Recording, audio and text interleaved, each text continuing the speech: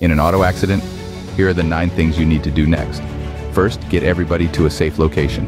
Second, check yourself and others for injuries. Third, exchange information. Fourth, document accident scene and call the police. Fifth, take detailed pictures. Sixth, notify your insurance company. Seventh, if anybody is hurt, seek medical attention. Eight, understand your insurance coverage. Finally, if injured, call one. 800 Law Leaders to speak to a top-rated accident lawyer for free.